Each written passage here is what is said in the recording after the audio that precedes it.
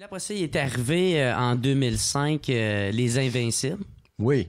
Puis euh, ça aussi, ça a eu un maudit bon succès, ça. Euh, Oui. Puis tu l'as coécrit avec Jean-François Rivard. Oui. C'est, est-ce que vous vous connaissez avant ou Oui. vous vous êtes rencontrés pour Ben, on est, on des a- ça, c'est quelque chose aussi qui est important. Tu sais, quand je, quand je suis Mhm. sorti du conservatoire, je me suis mis à faire du théâtre, tout ça. Je, tu sais, quand je parlais, j'en reviens tout le temps à ça, les amis, la communauté, c'est super important. Tu sais, on sortait beaucoup à l'époque dans les bars, puis tu sais, il y a plein de rencontres qui se sont faites dans des soirées euh, autour Ouais. d'une bière où euh, je sortais avec mes amis, puis c'est dans ces soirées-là que j'ai rencontré Jean-François Rivard, qui était pas un ami avant. On se croisait des fois, mais on, euh, euh, on se voyait souvent, tu sais, on avait toute une gang de gars, ben, euh, Patrice Robitaille, euh, il y avait Ricardo Troggi, Rémi-Pierre Paquin, Jean-François venait souvent, plein de monde, Stéphane Breton. puis c'est là que j'ai rencontré Jean-François, puis...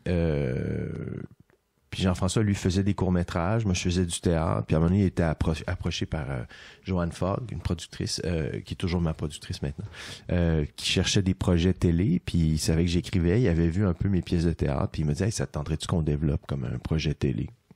Puis j'ai dit, ben pourquoi pas? Moi, j'avais aucune attente, en fait. J'ai dit, ben Mhm. oui, ça me tenterait. Puis Il avait a- entendu parler que tu écrivais. Ouais, je pense qu'il avait vu mes pièces aussi, Ouais. il aimait ça. Puis euh, moi, j'avais vu ses courts métrages qui étaient très bons. Tu sais, on était comme on a deux parcours très très différents. Mhm. Puis on, s'est mis à se parler, puis on s'est rendu compte qu'on avait comme une même sensibilité, un, même humour, un humour aussi similaire, puis que on a vu aussi qu'on avait chacun beaucoup à s'apprendre parce qu'on n'avait pas le même euh, le même parcours.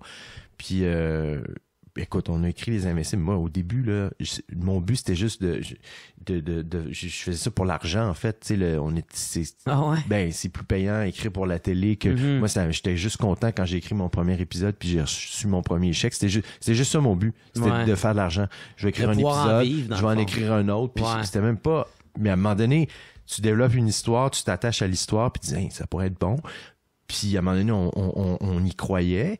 Puis ça a été très long parce qu'on n'était pas, on n'était pas du Québec Montréal n'était pas sorti à l'époque.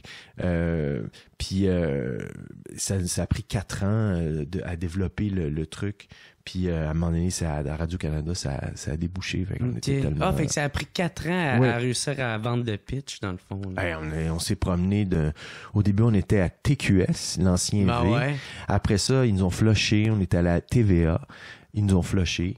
Puis c'est, c'est vraiment Mario Clément qui était euh, qui s'occupait des qui était euh, chef des dramatiques à, à, à Radio Canada qui, qui, qui a récupéré le projet puis qui nous- puis qui, le- qui nous a fait confiance alors que Mhm. on est on est- on- n'était pas connus du tout même Patrice n'était pas connu Euh, mais il y a eu Québec Montréal qui est sorti euh, c'est-tu sorti à je, je, je me souviens plus là, mais- Québec-Montréal, ouais, c'est sorti en 2002.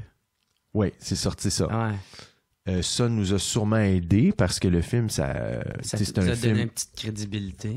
Ouais, ben une bonne en fait. Le Ouais, film a gagné euh, meilleur film euh, Ouais. au, au gala. Comment ça s'appelait? Comment ça s'appelle non? Ça s'appelait les. euh, pff, ils ont changé de nom. euh. je sais plus. Le gala du cinéma, on, a, on avait gagné ouais. meilleur film. Ah, ouais, euh, Jutra? Ouais, mais là c'était c'était-tu les Jutras Oui, c'était les Jutras. Ah, ça doit être Ouais, les Jutra. Jutra. Puis, euh, puis le film avait bien marché en salle aussi. Ça avait fait comme plus qu'un million de box-office. Puis, euh, puis c'était resté très, très longtemps en salle. En Mhm. tout cas, le film avait bien marché. Fait que ça, ça nous a vraiment donné un coup, un coup de main. Puis, euh, et on a fait ça encore entre amis. On a casté nos amis. Ouais. C'était l'histoire de quatre gars. On s'est dit, oui, mais pourquoi chercher... On, on est... On est...